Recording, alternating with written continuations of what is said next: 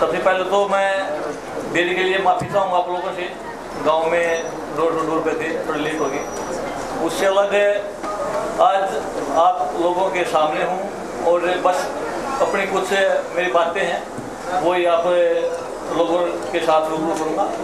देखो, मैं, मेरे को भारतीय जनता पार्टी ने दोबारा मौका दिया है इलेक्शन में, यहाँ से टिकट दी है मेरे को। और मेरा एक ही मकसद है इस इलेक्शन में राजनीति में आने कि यहाँ के लोगों की सेवा करनी। जो भी यहाँ की समस्याएँ हैं, वो दूर करने की कोशिश करनी। और दूर चीज़ें दूर हुई भी हैं।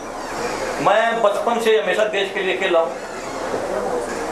देश के लिए लड़ा हूँ।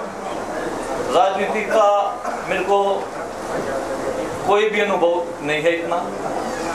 और ना मैं कभी राजनीति बात करता। मैं जो बात करता हूँ। दिल से और बिल्कुल सच्ची आत्मा के साथ करता हूँ। कोई बात ठीक है तो ठीक है और गलत है तो गलत है। मेरी हमेशा से वो चीज़ें रही हैं, बचपन से आदत है और अभी एक साल मेरे को राजनीति में आया हुआ है, तभी वही है। और मैं तो बस एक चीज़ सोच रखी है, जैसे देश के लिए मैंने ओलंपिक मेडल जीता था, उसी तरीके से यहाँ पे भी लोगों की सेवा करके, जैसे जब लोगों ने इतना प्यार, मान सम्मान दिया था, आशीर्वाद दिया था, वही प्यार, आशीर्वाद, मान सम्मान और वही चीज़ मैं अब जीतना चाहता हूँ। मैं डीएसपी की नौकरी 10 साल की थी, प्रमोशन थी एसपी की, वो छोड़ के यही इसीलिए आया था कि जो यहाँ की समस्याएँ हैं, उनको दूर करूँ। पर राजनीति में आगे बहुत सी चीज़ें पता भी लगी हैं कि समाज में किस किस तरह की मतलब बात चलती रहती है क्या क्या होता है। और मैं तो बचपन से मतलब हर जगह गया हूँ, हर गाँव में गया हूँ, हर शहर में गया हूँ, देश के हर कोने में गया हूँ। विदेशों में कोई, शायद ही कोई ऐसा देश बचा हुआ जिस देश में मैं नहीं गया हूँ। मैंने कभी हमेशा एक नज़र से देखा सबको बचपन से मैं सात साल की उम्र से मैंने पहलवानी स्टार्ट की बचपन से मेरा किसके साथ मरा किसके मेरे कभी किसी का बैकग्राउंड नहीं उठाया देखना जो हमारे साथी पहलवान रहे हैं या कोई और खे, और भी खेल खेले बच्चे रहे हैं। हमने बस एक चीज़ देखी है इंसानियत।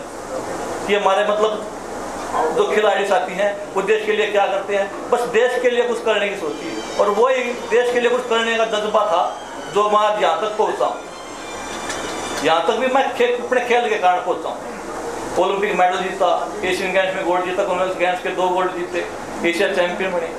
और देशवासियों ने हमेशा मेरे को अपने सिराखों पे रखा है कंधों पे उठा के रखा है। और इस बड़ौदा हल्का की भी पूरी जनता ने मेरे को ऐसे इतना मान सम्मान और प्यार हमेशा दिया और अब भी देती है। उस भाई बंधु मतलब ये जाति प्रथा में इतना जात पात में इतना बांटने की कोशिश करते हैं। उसमें हम तो कभी बटे नहीं, क्योंकि मैं तो बचपन से वो चीज़ देखी है। सबके साथ एक थाली में खाया छह से सात सात पहलवान है अखाड़े में रहते थे, एक थाली में खाया करते। एक थाली में सब्ज़ी डाल लिया करते। उसे में टुकला खाया करते। और मन तो एक चीज़ इसमें राजनीति में जो हमारे बस एक है कि यहाँ का विकास हो। और कोई कुछ वो नहीं, हम तो कुछ करने के लिए आए हैं। सबको एक नज़र से देखते हैं, और मैंने कल भी बताया था, हमेशा बताता हूँ कभी से, कि मेरी तो बस एक ही चीज़ है, इंसानियत। और इंसानियत के लिए मेरे को काम करने हैं। और आज अब यहाँ पे उपचुनाव है। आप पत्रकार बंधु, आप सबको पता है, क्योंकि इससे पहले भी तकरीबन मेरे से सभी मिले हुए हैं।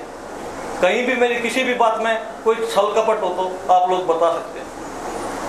मेरे ऊपर शायद ही कोई मतलब है, इस तरह की कोई टिप्पणी कर सकता बस एक, मैं तो ये दोबारा मेरे को मौका मिला है, अपने बड़ौदे की जनता से एक बस यही प्रार्थना करता हूँ और एक विश्वास दिलाता हूँ कि मैं हमेशा उनकी सेवा के लिए जी जान लगा दूँगा। मेरे को कुछ नहीं बस एक ही चीज़ दिखती है कि जो परेशान हो उनकी परेशानी दूर करनी।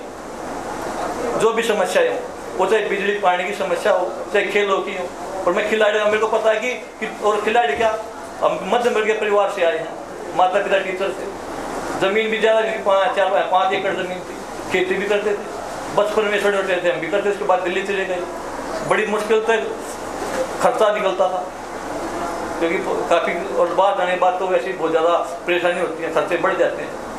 वही चीज़ें इस राजनीति में ये आने अभी कारण मेरा यही है कि मैं खेलों की बात हो, चाहे शिक्षा की बात हो, कि युवाओं के लिए, बच्चों के लिए कुछ करूँ, जो समस्याएँ ग्राउंड रूट पे हैं, उनको दूर करने की कोशिश करूँ। और वो राजनीति में आगे हो सकती थी, इसलिए मैं इसमें आया हूँ। और अभी आप सबके माध्यम से बस एक ही बात मैं कहना चाहता हूँ, यहाँ पे उपचुनाव है। रोजा की जनता, बड़े बुज़ुर्गों से, माताओं, बहनों से, सभी से मेरी हाथ जोड़ के ये एक विनती है कि मैं आपका बेटा, आपका भाई हूँ। मैं, में बस एक खिलाड़ी को देखें, जिसने देश के लिए मेडल जीतता है, जो कुछ आगे भी करना चाहता है।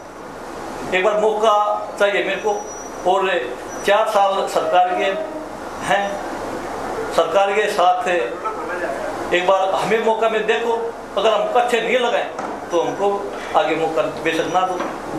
ताज़ा अपडेट्स व बड़ी खबरों के लिए सब्सक्राइब करें आज प्रकाश टीवी और बेल आइकन दबाना ना भूलें।